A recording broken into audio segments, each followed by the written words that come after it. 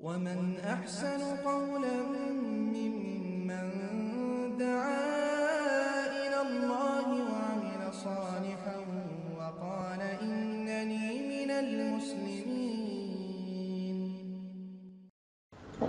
السلام عليكم ورحمة الله وبركاته بسم الله الحمد لله والصلاة والسلام على رسول الله ما بعد আজকে যে বিষয়টা নিয়ে আলোচনা হবে সেটা হচ্ছে সিফাতুস সালাহ সম্পর্কে অর্থাৎ সালাত পড়ার ধরন সম্পর্কে। সালাত, এটা আল্লাহ তালার পক্ষ থেকে মোমিনদের উপর পুরস্কৃত একটা আমল। সালাত সম্পর্কে হাদিসের যে বর্ণনা, আবু সাইদ খুদ্দির রাজি আল্লাহ তালাহ থেকে যে রাসুল সাল্লাহ সাল্লাম এরশাদ করেন মিফতাহ সালাতে তুহুরু ও তাহারিমুহা তাকবিরু ও তাসলিম।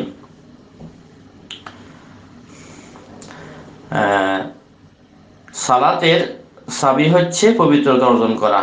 অর্থাৎ পবিত্রতা হওয়া ছাড়া সালাত হবে না। ও তাহারিমুহা তাকবীর। এই সালাতের হারাম করা হচ্ছে তাকবীরের মাধ্যমে। অর্থাৎ আল্লাহ আকবরের মাধ্যমে আমরা সালাতের আগের বিষয়গুলোকে আমরা হারাম করে ফেলি। আমাদের জন্য সালাতের আগের বিষয়গুলো হারাম হয়ে যায়। যে সকল কাজগুলো আমাদের করা বৈধ, এই আল্লাহ আকবর যখন বলব, প্রথম আল্লাহ আকবর সালাতের জন্য এর আগের কাজগুলো হারাম হয়ে যাবে। এই জন্য বলা হয় ও তাহারি ও তাহারি মুহাত তাকবীর ও তাসলিম। আল্লাহ আকবরের মাধ্যমে হারাম হবে। আবার একেবারে সালাতের শেষে যখন আমরা আসসালামু আলাইকুম রহমতুল্লাহ বলব, এর মাধ্যমে আবার হালাল করা হবে। অর্থাৎ সালাতের আগের জিনিস, সালাত শুরু আল্লাহ আকবরের মাধ্যমে হারাম হয় এবং সালাতের শেষ আসসালামু আলাইকুম রহমতুল্লাহর মাধ্যমে আমরা যখন সালাত শেষ করি, দুনিয়া বিকাশ কর্ম আমাদের জন্য হালাল হয়। এই জন্য এক কথা বলা হচ্ছে তাহারিম হাত তাকবীর ও তাহলিল হাত তাসলিম। সালাতে আল্লাহ আকবরের মাধ্যমে হারাম করা হয়। আর সালাতে আসসালামু আলাইকুম রহমতুল্লাহ এর মাধ্যমে হালাল করা হয়। হাদিসটি তিরমিজির মধ্যে সহি সূত্রে বর্ণনা করা হয়েছে। ইবনে মাজার মধ্যেও হাদিসটি উল্লেখ আছে দুইশত ছিয়াত্তর নম্বর হাদিস, তিরমিজিতে দুইশত আটত্রিশ নম্বর হাদিস। আর আমরা সালাত কীভাবে শুরু করব? সালাতের আগে আমাদের দেশে কিছু কুসংস্কার আছে। ইন্নি ওয়াজ্জাহাতু ওয়াজহিয়া লিল্লাযী ফাতারাস সামাওয়াতি ওয়াল আরদা হানিফা ওয়া মা মুশরিকিন। এটা বলা হয়। এটা, এটার নাম দেওয়া হয়েছে যে নামাজের মশলা পবিত্র করার দোয়া। আসলে দোয়া আরও কিছু বললেও পবিত্র হবে না, যদি বাস্তবে সালাতের স্থানের মধ্যে কোনো নাফাক থাকে। আমরা মনে মনে নিয়ত করব, আর নিয়ত হিয়া ইরাদাতুল কলব। নিয়ত হচ্ছে মনের ইচ্ছা। আর এখানে নাওয়া টুয়ান সহ মানুষে বা বাংলাতে মুখ উচ্চারণ করা এগুলার প্রয়োজনে বরং এগুলা অনেকেই বেদাত হিসেবে উল্লেখ করছেন। যেহেতু নিয়ত হচ্ছে মনের কাজ, এটা মুখের কোনো কাজ না। আর প্রথমে ক্যাবলামুখী হয়ে তাকবিরে তাহরিমা আল্লাহ আকবরের মাধ্যমে আমার সালাদ শুরু হবে। হাত তিন জায়গাতে বাঁধার হাদিস আছে, কিন্তু উত্তম হচ্ছে সব যে কোনো জায়গাতে হাত বাঁধলেই হবে, তবে উত্তম হচ্ছে বুকের উপরে হাত বাঁধা। কারণ এই বিষয়ের হাদিস সবগুলোই জয়ফ। মূল সুন্নত হচ্ছে হাত বাঁধা, বাকি তুলনামূলক একটু শক্তিশালী হচ্ছে বুকের উপর হাত বাঁধা। এরপর আমরা সানা পড়ব। সানা বিভিন্ন ধরনের হতে পারে। যেমন আমরা সুবহানাক আল্লাহুম্মা বিহামদিকা ওয়া ওয়া তাআলা জাদ্দুকা ওয়া লা ইলাহা গায়রুকা। পড়ি তেমনি যেই নিয়ে জাহাতুটা আমাদের দেশে নামাজের মশলাতে তাকবীরের আগে পড়ে, অথচ আমরা আসারের মাধ্যমে দেখি যে এটা সুবহানাকা আল্লাহুম্মা ওয়া বিহামদিকা যেরকম এর স্থানে এই আল্লাহুম্মা ইন্নী যালাম ইন্নী ওয়াজজাহতু ওয়াজহি লিল্লাযী ফাতারাস সামাওয়াতি ওয়াল ওয়া মা মুশরিকিন। এটা পড়ার কথা আমরা দলিল হিসেবে দেখি। তাই দুইটা একসাথে পড়তে পারে বা দুইটা যে কোনো একটা পড়তে পারে। বা এছাড়া আরও অনেক দোয়া আছে। আল্লাহুম্মা বাঈদ বাইনি আহ, আল্লাহুম্মা বাঈদ বাইনি বাইরে খাতায়ায়া কামা বাআতা বাইনুল মাসিক ওয়াল মাগরিব। এভাবে যে দোয়াটা আছে আরও দোয়া আছে তাকবির তাহরিমের পরে লম্বা লম্বা দোয়া আছে। আমরা সেগুলা যদি জানা থাকে আমরা পড়তে পারি। এরপরে সুরাতুল ফাতিহার আগে আউযু বিল্লাহি মিনাশ শাইতানির রাজিম। এরপরে বিসমিল্লাহির রহমানির রহিম। এরপরে সূরা ফাতিহা শেষ করবে। এরপরে জামাতে আমিন, যদি পড়ে জোরে, ইমাম সাহেবের শুন যে ওরা দলে জোরে বলে তাহলে মুক্তাদের আমিন বলবে জোরে। এটা সুন্নত। আর এরপর আবার বিসমিল্লাহ পড়বে, পরবর্তীতে আরেকটা সুরা পড়বে। এরপরে তাকবির দিয়ে রুকুতে যাবে। এরপরে সুবহান আযীম পড়বে। কমপক্ষে তিনবার পড়বে, এর থেকে উপরে যত পারা যায় পড়তে পারে। এরপরে রুকু থেকে ওঠার সময় সামি আল্লাহু হামিদা, রব্বানা হামদ বা রব্বানা হামদ দুইটার যে কোনো একটা পড়তে পারে। এরপরে হামদান অবস্থায় পড়বে। এর পরবর্তীতে সেজদাতে যাবে আল্লাহু আকবার। সেজদাতে যাওয়ার দুইটা ধরন, একটা হচ্ছে হাঁটু আগে দিবে, হাত পরে দিবে। আর একটা হচ্ছে হাত আগে দিবে হাঁটু পরে দিবে। দুইটা দুইটাই গ্রহণযোগ্যতা রাখে, তবে যুক্তিসঙ্গত হাদিস দুইটার মধ্যে যুক্তিসঙ্গত হচ্ছে এটা যে প্রথমে হাঁটু দিবে, তারপরে হাত দিবে। এরপরে সাত অঙ্গে সেজদা করবে। সাত অঙ্গে সেজদা করার অর্থ হচ্ছে কপাল, নাক একসাথে, তারপরে যে দুই হাত, দুই হাঁটু, দুই পা, এ হচ্ছে সাতঙ্গ এই সাতঙ্গে সেজদা দিবে। সেজদা অবস্থায় পা যেন উপরের দিকে না যায়। যখন সেজদা দিবে, তখন একটা পা একটা পায়ের সাথে মিলিয়ে রাখবে, ফাঁক করে রাখবে না। বরং মিলিয়ে রাখবে। এরপর সুবহান রব্বিয়াল আলা পড়বে। কমপক্ষে তিনবার পড়বে, এর থেকেও বেশি বললে আরও বেশি আফজল উত্তম। এরপর আল্লাহ বলে, দুই সিদ্ধের মাঝখানে বসবে। এ বসিয়া পড়বে রব্বিক ফিরলি রব্বিক ফিরলি দুইবার। বা এছাড়া আরও দোয়া আছে এগুলো তাদের মুখস্থ আছে তারা পড়তে পারে। এরপর দ্বিতীয় সেজদা বাঘের মতো। এরপরে যে আল্লাহ আকবর বলে আবার উঠে যাবে। উঠার সময় মাটিতে হ্যাঁ, ট্যাগ দিয়ে উঠতে পারে বা হাঁটুতে ট্যাগ দিয়ে উঠতে পারে। আর যখন দ্বিতীয় রাখাতের জন্য উঠবে তখন শুধু বিসমিল্লাহ পড়বে। দ্বিতীয় রাখা যখন শুরু করবে। শুধু বিসমিল্লাহ পড়বে তখন আর আউজগুলো পড়বে না। এর পরবর্তীতে সুরা ফাতিহা পড়বে এরপরে আরেক বিসমিল্লাহ পড়বে এরপর আরেকটা সুরা পড়বে। হ্যাঁ আগের মতো রুকু সেজদা করে শেষ করবে। দুই রাকাত যখন শেষ হবে তখন বসবে। হ্যাঁ, বসার সময়ে যে সুন্নত হচ্ছে ডাইন ফাঁকে কাড়া করে দিবে তারপর বাম পায়ের উপর বসবে। আর তাশাহুদ পড়বে। পুরা তাহিয়াতু লিল্লাহি ওয়াস সালাওয়াতু ওয়াত তাইয়িবাত আসসালামু আলাইকা আইয়ুহান নাবিয়্যু ওয়া রাহমাতুল্লাহি ওয়া এতটুকু। আসসালামু আলাইনা ওয়া আলা ইবাদিল্লাহি সালিহিন। আশহাদু আল্লা ইলাহা ওয়া আশহাদু আন্না আবদুহু ওয়া এতটুকু পড়ার পরে দুই অবস্থা। যদি দুই রাকাতে সালাত হয়, তাহলে দুরুদ ইব্রাহিমই পড়বে, পরবর্তীতে দোয়া মাসুরা পড়বে। যদি দুই রাকাতের সালাত হয় তাইলে দুরুদ ইব্রাহিম পড়বে, এরপরে আল্লাহ মাইলি জলম তো নফসি জলমান কাসেরা ওয়ালা ইয়াগফিরু যুনুবা ইল্লা তাফা ফাগফির লি ওয়া আনতা মিন ইনদিকা ওয়ারহামনি ইন্নাকা আনতাল গফুর রাহিম। এটা পড়বে।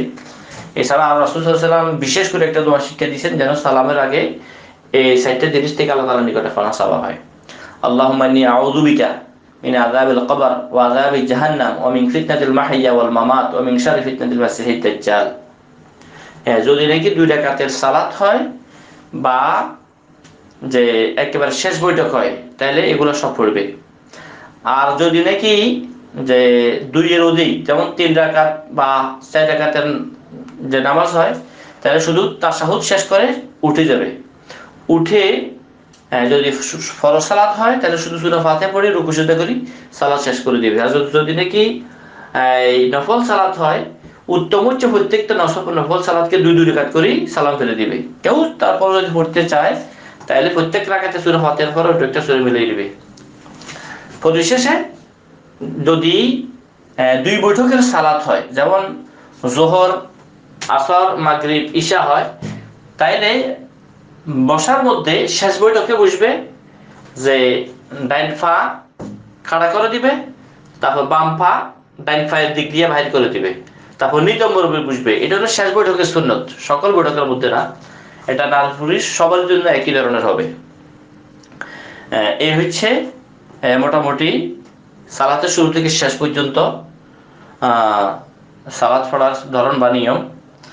এখন বিশেষ কিছু কথা সালাদ সংক্রান্ত অবশ্যই আমাদেরকে খেয়াল রাখতে হবে। নারী পুরুষের সালাতের মধ্যে ব্যবধান আছে কিনা?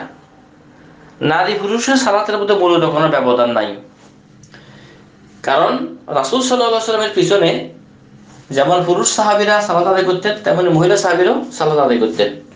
আর সকলকে উদ্দেশ্য করে রাসুল সাল্লাম বলতে, বলছেন সল্লু কামার ইউসাল্লি তোমরা সালাত এভাবে পড়ো, যেভাবে আমাকে সালাত আদায় করতে দেখছ। যদি দেখি উল্লেখযোগ্য কোনো পার্থক্য থাকতো, তাহলে অবশ্যই রাসুল সাল্লাহ সাল্লাম তখন বলতেন। এই বিষয়ের উপরে আমাদের একটা মূলনীতি অবশ্যই খেয়াল রাখতে হবে। একটা হাদিসের মধ্যে আছে, ইন্নামান নিসা ও শাকা একর রিজাল মহিলারা হচ্ছে পুরুষদের মতোই, অর্থাৎ পুরুষদের অংশ, পুরুষের অংশ হচ্ছে মহিলারা। হাদিসটি মসজিদ আহমদের মধ্যে উল্লেখ করা হয়েছে সহি সূত্রে এবং সহি আল জামের মধ্যে এক হাজার নয়শো আটত্রিশ নম্বর হাদিস। এই হাদিসটি যে বোঝা গেল, এই হাদিস দ্বারা বোঝা গেল নারী পুরুষের ব্যবধান একটাই।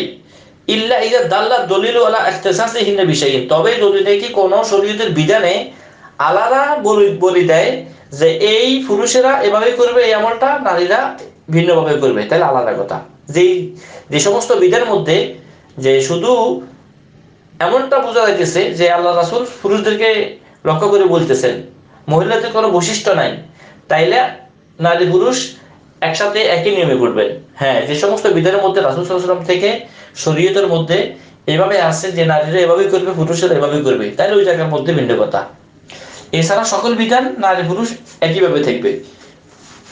এই দুইটা দলিলের মাধ্যমে আমরা বুঝতে পারলাম যে নারী পুরুষ যে মূলত সালাতের মধ্যে কোনো ধরনের যে কি হবে না, বেশ কম হবে না। এখানে আমাদেরকে আরেকটা বিষয় খেয়াল রাখতে হবে। আজান একামত পুরুষেরা অবশ্যই দিবে।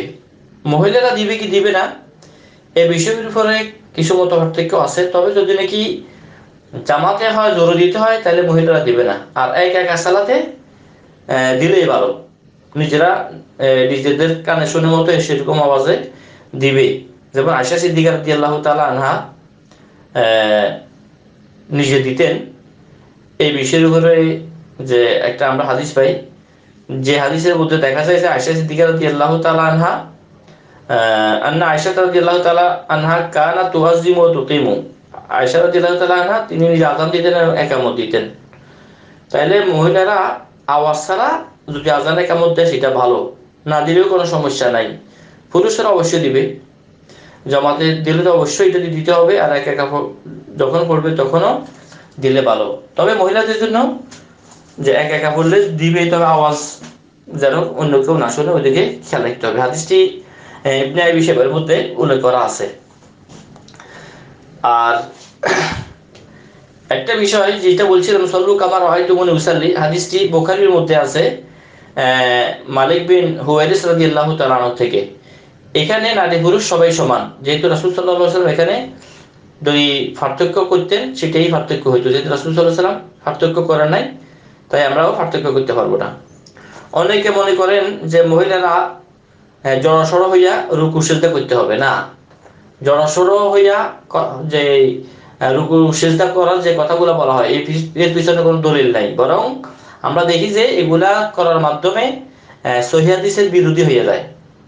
কিছু কিছু পার্থক্য দেখা যায় এগুলা জাল জয়ীফ হাদিসের মাধ্যমে নারী পুরুষের কিছু পার্থক্যের কথা অনেকে বলে।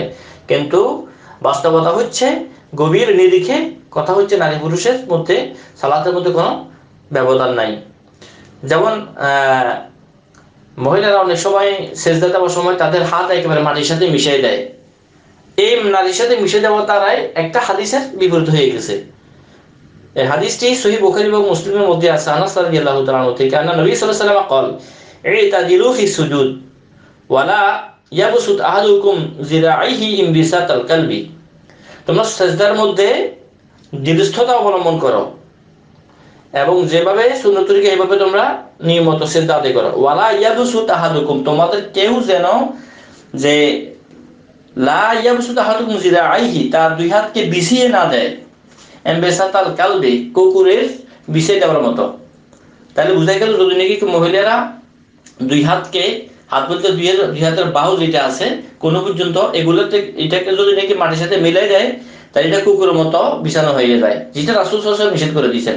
এখন যদি নাকি জনসর হইয়া মহিলারা যে সেজদা দেয় আর যে হাত কোন সহ মাটির সাথে মিলাই দেয়, তাইলে সরাসরি এই হাদিসের বিরোধী হয়ে যেতেছে কুকুরের বিছানার মতো হয়ে যেতেছে নাউজুবিল্লাহ। হাদিসটি সহি বুখারী এবং মুসলিমের মধ্যে আছে।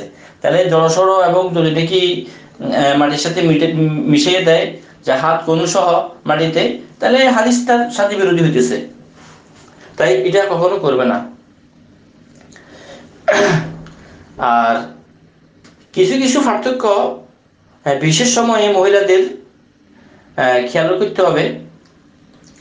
সেটা হচ্ছে যে জমাতে যখন তারা সালাত আদায় করবে, তখন একটা বিষয় খেয়াল করবে যে মহিলাদের জন্য ঘরে সালাত আদায় করা উত্তম। যদিও যদি কোনো মহিলা যাইতে চায়, জমাতে সালাত আদায় করার জন্য, তখন পুরুষে তাকে নিষেধ করতে পারবে না।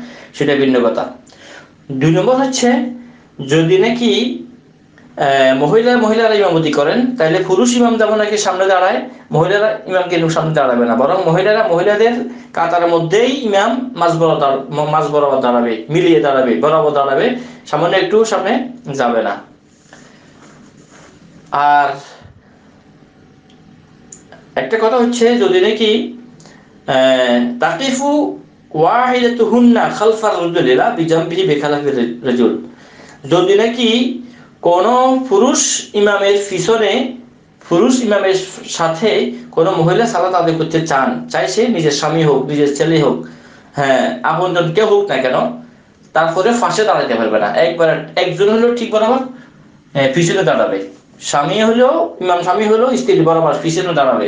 ছেলে হলেও একেবারে পিছনে দাঁড়াবে। বোন হলেও মেয়ে হলেও একবারে পিছনে দাঁড়াবে। আর একটা বিষয় হচ্ছে,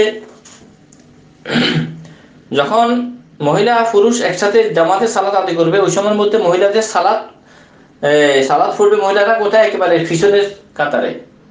সামনে পুরুষেরা মাঝখানে না নাবালিক শিশুরা থাকবে, পরবর্তীতে মহিলারা থাকবে। এতটুকু সামান্য কিছু ব্যবধান থাকলেও মূলত অন্য দিক দিয়া মহিলাদের সালাত, পুরুষদের সালাতে কোনো ব্যবধান নাই। আর দু একটা কথা বলতে হয় প্রাসঙ্গিকভাবে। আমরা সালাতে নজর কোথায় রাখব? সালাতে আমরা নজর রাখব খাড়ানো অবস্থায় সিজদার দিকে। রুকুতে গেলে অনেকে মনে করে বিদ্যাগুলোর দিকে তাকাবে। না, এটা ভুল। রুকুতে গেলেও আমাদের সেজদার স্থানে কি থাকবে? এই নজর থাকবে। এ বিষয়ে হাদিসের মধ্যে আছে। যে রাসুল সাল্লাহ আলাইসলাম যখন নাকি মক্কার মধ্যে আল্লাহর ঘর বাইতুলের মধ্যে ঢুকিয়ে সালাদ আদায় করছেন তখন রাসুল সাল্লাহ সাল্লামের যে নজর সেজদার স্থান থেকে অতিক্রম করে নাই। এটা আয়সা সিদ্দিকার দিয়ে আল্লাহ তালা আনহার বর্ণনা। এভাবে যখন আমরা সেজদাতে যাব তখন আমাদের নজর থাকবে নিচের দিকে। যখন নাকি আমরা বসে যাব বসার পর তাসাউদের যখন আমরা বসবো তখন আহ, সুন্নত হচ্ছে আমাদের ডান হাতের সাদা আঙুলকে আমরা উঠিয়ে রাখব হালকা মাঝে মধ্যে এটাকে উঠানামা করব। হালকা একবারে জোরে সরে না। তারপরে তখন আমাদের দৃষ্টি কোথায় থাকবে অনেকে বলে যে আমাদের মধ্যে দৃষ্টি থাকবে যখন আমরা তাসাউদ ফুটতে থাকব তখন কোলের দিকে দৃষ্টি থাকবে এই কথাটা সঠিক না। সঠিক হচ্ছে সুন্নত হচ্ছে যখন নাকি আমি তাসাউদে বসছি আর সাদা তো আঙ্গুলকে আমি কি করতেছি উঠেতেছি হ্যাঁ, ওই দিকে আমার নজর থাকবে একেবারে সালাম ফেরানোর আগ পর্যন্ত। সালাম ফেরানোর আগ পর্যন্ত ওই দিকে আমার নজর থাকবে। আঙ্গুলের দিকে নজর থাকবে। এটাই হাদিস। এটাই সুন্নত। তাইলে কোথায় আমরা দৃষ্টি রাখব সালাত অবস্থায়, সেটা পরিষ্কার পাশে বুঝতে পারলাম যে খাড়ানো অবস্থায় এবং রুকু অবস্থায় আমরা আমাদের স্থানে আমাদের নজর থাকবে আর বস, যখন বসা থাকব আমরা তখন ডান হাতের সাদা আঙ্গুলের দিকে আমাদের নজর থাকবে। এই হচ্ছে সালাতের মধ্যে সুন্নত তরিকা। আর বিশেষ করে সালাদ এটা অত্যন্ত গুরুত্বপূর্ণ সালাদ এই বিষয়ে অনেক হাজার হাজার মশালা আছে সার সংখ্যে আমি এতটুকুই বললাম যে রাসুল সাল্লাহ সাল্লামের ওই হাদিস হিসেবে তাহারিম হুয়ার তাকবীর ও তাহালিল হুয়ার তাসলিম সালাত আল্লাহ আকবরের মাধ্যমে হ্যাঁ, হারাম করা হয় এবং আস- আসসালামু আলাইকুম রহমতুল্লাহর মাধ্যমে এটা এটা থেকে বাহির হওয়া হয় বা দুনিয়াবি কাজকর্ম হা- হা- হালাল করা হয়। পরবর্তীতে ফরজ সালাতের পরে সুন্নত হচ্ছে সালাম ফিরানোর পর আস্তাগফিরুল্লাহ আস্তাগফিরুল্লাহ আস্তাগফিরুল্লাহ তিনবার পড়া। এরপরে আল্লাহ সালাম সালাম জালালুল কারাম এরপরে আল্লাহ আইন্নি আলা ওয়া শুকরিকা ওয়া হুসনি ইবাদাতিকা। অনেক আছে দোয়া ওইসব আমরা করতে পারব। তবে একটা সুন্নত যেটা আমরা অনেকে জানি না, রাসুল যখন কোরআন তালাবাদ শেষ করতেন, যখন কোন সালাদ শেষ করতেন, যখন কোন মাজলিস শেষ করতেন, তখন রাসুল সাল্লাম এই দোয়াটা অবশ্যই পড়তেন। সুবহান আল্লাহি বিহামদিহি সুবহানাকা আল্লাহুম্মা ওয়া বিহামদিকা, আশহাদু আল্লা ইলাহা ইল্লা আনতা, আস্তাগফিরুকা ওয়া আতুবু ইলাইক। আশা করি বিষয়টা বুঝতে পারছেন। বাকি আল্লাহ আসসালামু আলাইকুম রহমতুল্লাহ বারাকাতুহু।